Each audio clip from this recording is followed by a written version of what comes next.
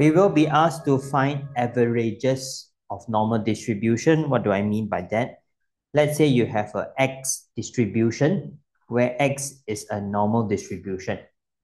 They are going to give you like n different kinds of X. You have X1 to Xn, which are different samples of X.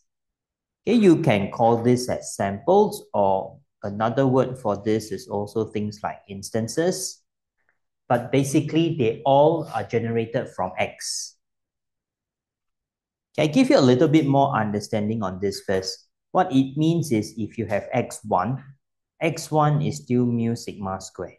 There's no change in the distribution. They take from X. So X2 also the same, still mu sigma square. So you can think of it like different objects all from X. We will be asked for this thing called X bar.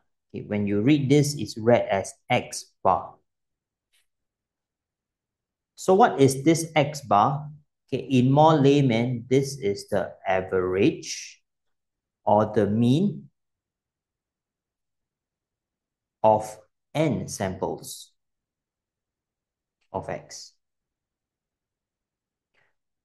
You have n different X and you want to check the average distribution. We will need to learn how to apply the formula, although I will also show you the proof. There are two important things here. If you observe the distribution versus X, you will notice that the mean stays the same. Same mean. You don't divide by n or times n, nothing. It's exactly the same.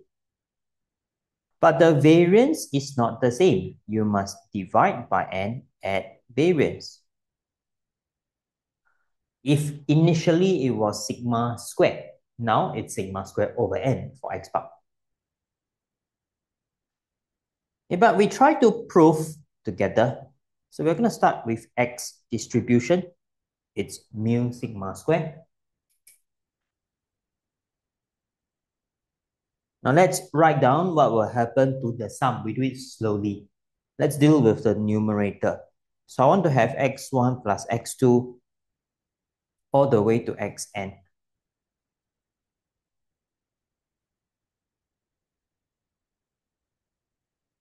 When you add up n different objects, what do we know about the mean and variance? You will times n to both. We don't square